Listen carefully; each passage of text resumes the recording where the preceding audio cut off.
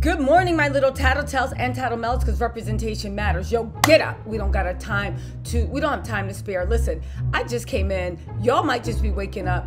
Y'all Kevin Hunter has let everything go. Remember, I said he was doing a live in my other video, but Instagram literally shut his main page down because of what was it, community guideline violations a la Kanye West. To which I literally said, This is some BS. Because I've been on Kevin's Hunter page since all this windy mess happened, and he don't post anything against community but guidelines. Well, guess what?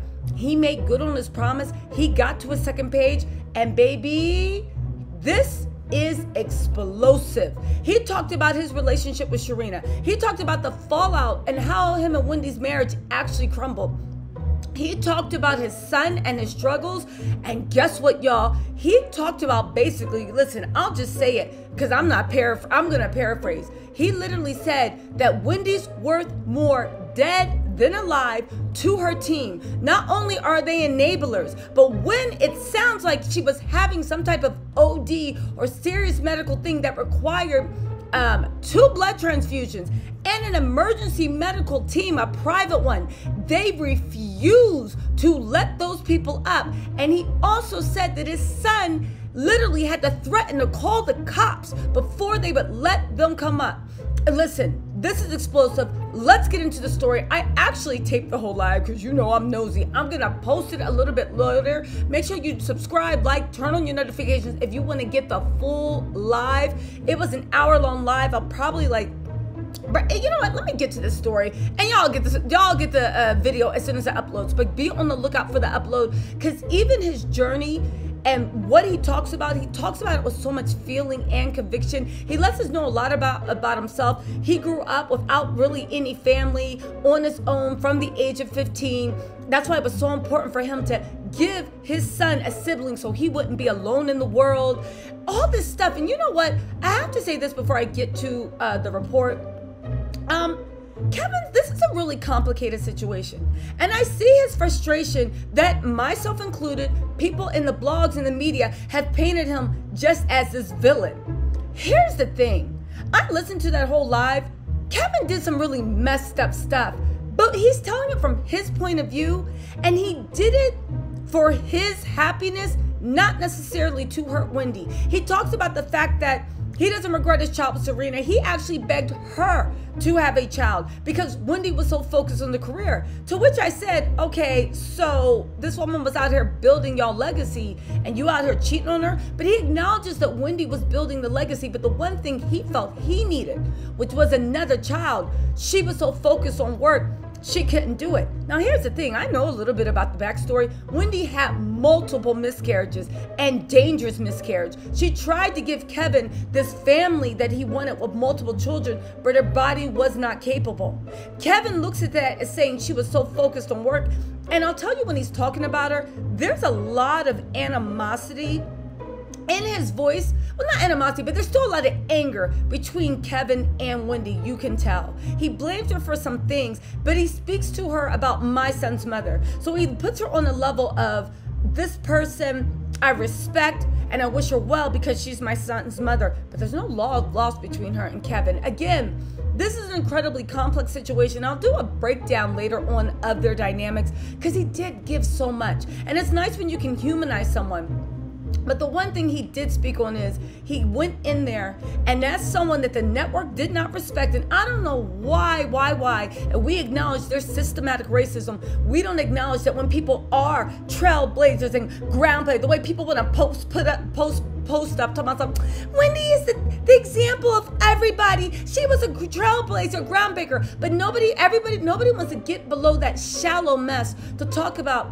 how hard it is for basically, and I might be being dramatic, two freedom fighters to go into a corporate America that rejects you for not having the right education, the right look, the right way of talking that they like, rejects you, stigmatizes you, and yes, does racist things to you to minimize you. And even when you reach the top, even when you're the pinnacle, you are still the subject of their racism because, like Kevin said, they wouldn't do this to an Ellen and they wouldn't do this to a Jimmy Fallon. And if you're like, well, Jimmy Fallon, yeah, Jimmy Fallon is, it's the biggest, allegedly, the biggest loosely held secret that he suffers with massive addiction issues. I believe it is alcohol, massive issues. And the studio mobilized a whole machine of holding him up, getting him help, getting him to rehab. And he said Wendy was not privy to that. Wendy was not privy to that. You guys, the video is so much. I'm to post it later today so you can hear it in Kevin's own words because it's really powerful with the emotion that he's talking about. And I want to hear after that what y'all think. But let's get to this condensed report, right? Okay, so the report starts Wendy Williams' ex-husband Kevin Hunter reveals talk show host received a blood received two blood transfusions, accuses her team of attempting to block medical professionals during emergency. That's putting it nicely. Now it goes on to say that Kevin starts off by saying, when it comes to whatever narratives that might be spun out there regarding me, my entire family, I want to first and foremost say I respect. I truly respect I was able to experience with my ex-wife and what we were able to accomplish. Again, I'm posting all this on my video. Make sure you turn on likes and subscribe uh, so you can hear it in the whole war their own words. Because all these news reports don't forget these are big companies. And i'm not joking they're posting what they want to do to create a certain narrative that literally glosses over the things that he said. And this is where kevin in the beginning expressed a lot of regret that both him and wendy because they were trying to build a legacy put her career first instead of the family. He then gave her shouts out saying what she has clearly accomplished on her own and her own merit and what we were able to accomplish together. He's not taking away anything from Wendy, but he is saying that we accomplished a lot together. Kevin accomplished a lot together, right? Now get this. He did reference his alleged affair with Sharina Hudson. I'm posting the video in a second. Um, which was interesting because he you can tell he really, really, really loves Sharina. He don't want no one to blame her. He said that when he first found out to Sharina, when she first found out she was pregnant, wanted to terminate the pregnancy because she, well, I guess she was an eternal side piece mistress. And that's not to disrespect her, but it seems like Wendy and Kevin had an arrangement and Sharina was fine with that arrangement. to be fair, Kevin is not does not come across as a monster. However, he comes across as an inconsiderate jerk whose own want for what he wanted in life literally did major damage to Wendy. Because at the end of the day, every time she went into rehab, it's because when you and Sharina, from what we saw, got too close. Do you see what I'm saying? Anyway, right? Um, he says, when it comes to my personal life or what the public has been able to see in real time, I take full accountability for my actions and understanding how it might have hurt a lot of people. Again, not a monster, but Kevin, it didn't might, it did. It rocked this woman to her core. Just like young, rich, and um, uh, I'm sorry, young, famous, and African Annie. If you guys haven't been watching that reality TV show, I'm recapping it. You need to get into it. It's on Netflix. Her relationship with 2Baba is a lot like what it seemed like Wendy's relationship was with Kevin, with that blind, sla- slavish devotion. Anyway, he said, I did. And for that, I wish her nothing but the best of wellness and support. Great. But that's when I was like, there's still a lot of anger between you guys. And I think he blames Wendy low key for how the network threw him away. Wendy was probably the one cheerleading it because he never referred to her as her name. It was always that person, somebody, my son's mother, which let me know you can't even say her name. Ooh, there's a lot going on. But he did say, I did hurt somebody, and for that I wish her nothing but the best and wellness and support. Kevin, I Kelvin, sorry. Why do y'all keep telling me this man's name is Kevin when it's Kelvin? I was for once I know I mispronounced everybody's name. For once I got a name right. Ain't that funny? Anyway, Kelvin was saying that um he uh he wished it, but I remember when he posted that thing saying health is wealth. But I think the animosity as he gets into it goes into how Wendy prioritized building an empire above even her own health, their health. Like I said, when you are breaking glass ceilings, you are going to war. And we all know that in war, people get taken down by enemy fire, friendly fighter. That glass ceiling, those shards gets in your soul. That's why, that's why even now in the freedom fighters from 1960 and 70, we are still dealing with the poison that happened from when they sacrificed everything, even the family unit, even their own children to march across lines where dogs were biting at them. They sacrificed everything so that we can enjoy freedom. Sorry, Tattletales, got emotional for a second. Anyway, right? Kevin then starts to talk about him being fired from the Wendy Williams show, and he was given his walking papers after Wendy's uh, Wendy's uh, divorced him. He accuses them of wrongfully terminating him in 2019 after Wendy filed for divorce. He claims he was responsible for the show's success and believes they owe him. Now, here's this the producers do owe him. And after you hear the live, I'm going to post the snippets because it's an hour long live. I'm breaking it down. Those producers are evil, evil, evil. And it really bothered me that so many people cite, well, Wendy's this, Wendy's that. If you're sick, when he talks about the way they treated her, when they saw, they enabled the drug use, they saw it, and she was worth more dead than alive to them. Listen, now get this. Even though what he, Kevin also did clarify that him and Wendy are not getting back together. Sharina is his woman, and she credit he credits her with saving his life and giving him happiness and peace. And to everybody that said he messed up the bag, he gave the they gave the bag back to him tenfold. He said these people stripped me of from me all my success and what I accomplished because of who I chose to be with. They gave them no budget. He said he was running around having to borrow, beg, and steal clothes for Wendy because she wasn't a sample size. He said he had to do everything. He had to learn with no production experience, no formal education. He had to learn to do everything. And from that, he made the number, they made the number one daytime talk show. He literally said he went through he went on to trash Wendy's producers for already moving on to Sherri Shepherd. He compared the situation to an athlete being injured. Kevin said a team would allow their star to recover and come back, not discard them. That is true. But again, as much as y'all were cheering, oh what, so what? Yo, I'm sorry your jobs discard y'all and make y'all feel disposable. What they did to Wendy was actionable. It is illegal, and I hope they get every penny they deserve. Listen. He literally said that during his divorce, he continued helping Wendy with her issues, saying, I still had to stay her life. He said, they are, he said, the people around him, the management team, he said, the snakes, the vipers, everything, they are responsible for almost seeing her life come to end. He said, these current people in place, management, that clearly put her in life or death situations and denied medical coverage and care. Now, listen. Y'all can talk all that mess, talking about some, talking about some corporate pick-me's. Ellie, she ain't kind of right. She deserves to be fired. It is actionable and illegal and a violation of EEOC state and federal, right? Uh, federal's EEOC states is New York human rights law to literally deny medical coverage and care, especially an employer. And Kevin goes on to say, if it wasn't for my son and myself stepping in, that would be it. He described an in- incident when Wendy needed help, but but he said that the management team refused to let uh, Kevin Jr. allow a, a, private medical team. They even said he couldn't call a regular ambulance. He had to call a private medical team to keep it hush hush to treat her during her health scare. It wasn't a health scare. It sounded like she was ODing. He literally said that Kevin Jr. threatened to call the cops to get team members to get out of his way. And two blood transfusions later, Wendy, the queen, is still here. He said there, there's still a lot of vultures around Wendy, and he accuses people of the show of dropping the ball once he left and making sure she was taken care of properly. He said you'd never see this happen to Ellen or Jimmy Fallon, and I agree.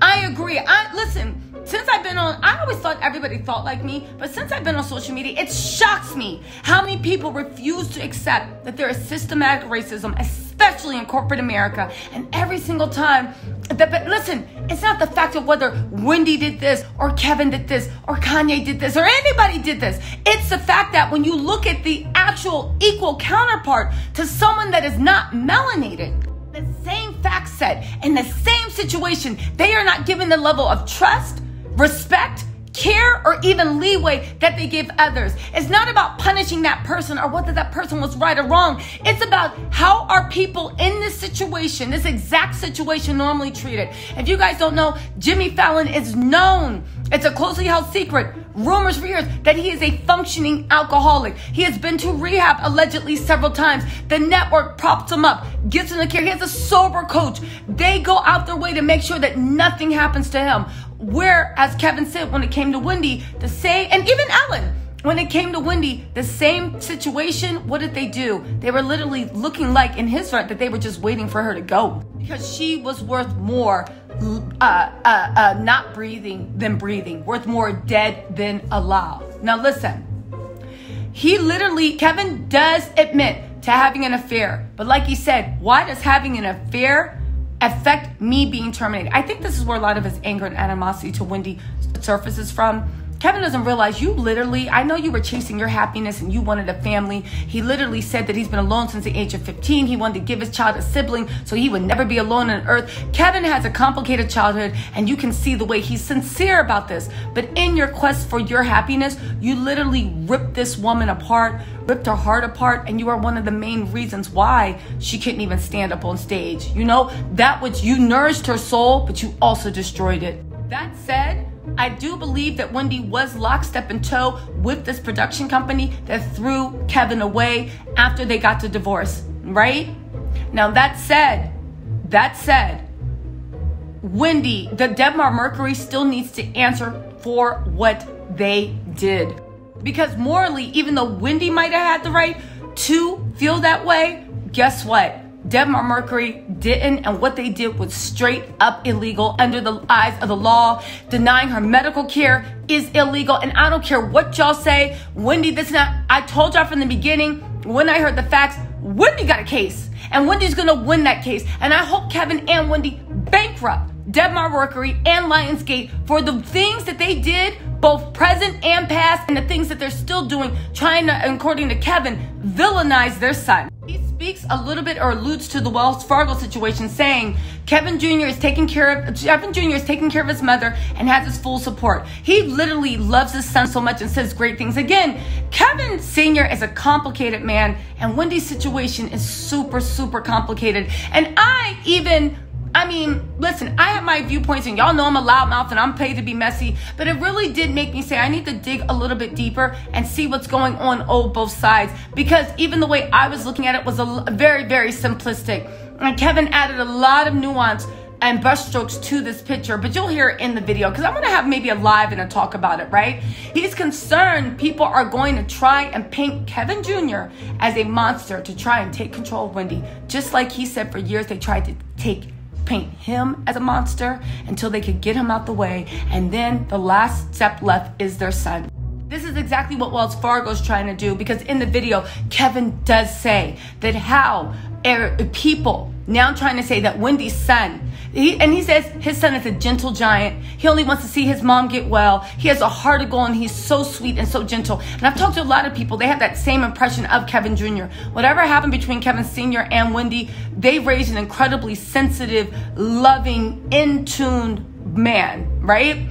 But they're saying that now that he's trying to take over with his mom and see what's going, they're trying to paint Wendy's son her only son, her only heir, her only heir as someone that's trying to use and take take it take advantage of his mom and they need to take her money and keep it safe. Again, you guys, Wendy ain't nothing but a commodity to those people.